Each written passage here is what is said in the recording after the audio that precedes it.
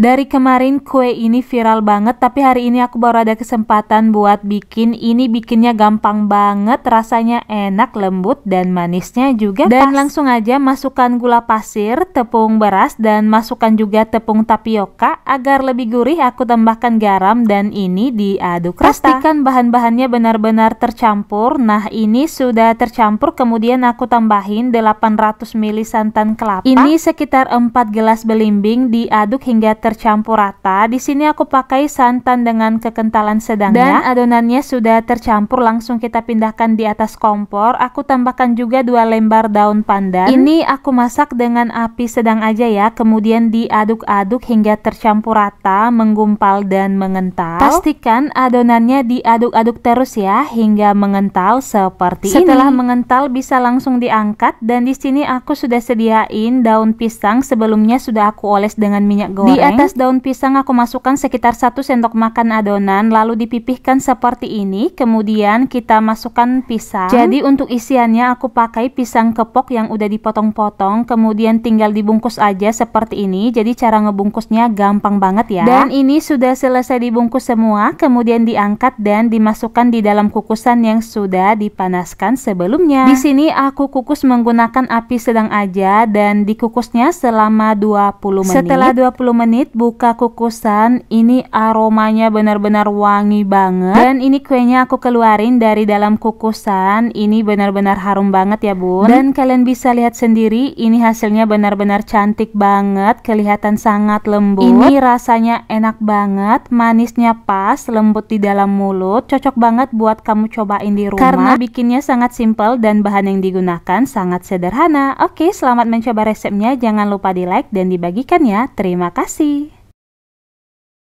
dari kemarin kue ini viral banget tapi hari ini aku baru ada kesempatan buat bikin. Ini bikinnya gampang banget rasanya enak lembut dan manisnya juga Dan pas. langsung aja masukkan gula pasir, tepung beras dan masukkan juga tepung tapioka. Agar lebih gurih aku tambahkan garam dan ini diaduk rata. Pastikan bahan-bahannya benar-benar tercampur. Nah ini sudah tercampur kemudian aku tambahin 800 ml santan kelapa. Ini sekitar 4 gelas belimbing diaduk hingga tercampur rata. Di sini aku pakai santan dengan kekentalan sedang dan ya. adonannya sudah tercampur langsung kita pindahkan di atas kompor. Aku tambahkan juga dua lembar daun pandan. Ini aku masak dengan api sedang aja ya. Kemudian diaduk-aduk hingga tercampur rata, menggumpal dan mengental. Pastikan adonannya diaduk-aduk terus ya hingga mengental seperti Setelah ini. Setelah mengental bisa langsung diangkat dan di sini aku sudah sediain daun pisang sebelumnya sudah aku oles dengan minyak goreng. Di atas daun pisang aku masukkan sekitar 1 sendok makan adonan lalu dipipihkan seperti ini. Kemudian kita masukkan pisang. Jadi untuk isiannya aku pakai pisang kepok yang udah dipotong-potong kemudian tinggal dibungkus aja seperti ini. Jadi cara ngebungkusnya gampang banget ya. Dan ini sudah selesai dibungkus semua kemudian diangkat dan dimasukkan di dalam kukusan yang sudah dipanaskan sebelumnya. Di sini aku kukus menggunakan api sedang aja dan dikukusnya selama 20 menit. Setelah 20 menit menit buka kukusan ini aromanya benar-benar wangi banget. Dan ini kuenya aku keluarin dari dalam kukusan ini benar-benar harum banget ya bun. Dan kalian bisa lihat sendiri ini hasilnya benar-benar cantik banget kelihatan sangat lembut. Ini rasanya enak banget manisnya pas lembut di dalam mulut. Cocok banget buat kamu cobain di rumah. Karena bikinnya sangat simple dan bahan yang digunakan sangat sederhana. Oke selamat mencoba resepnya. Jangan lupa di like dan dibagikan ya. Terima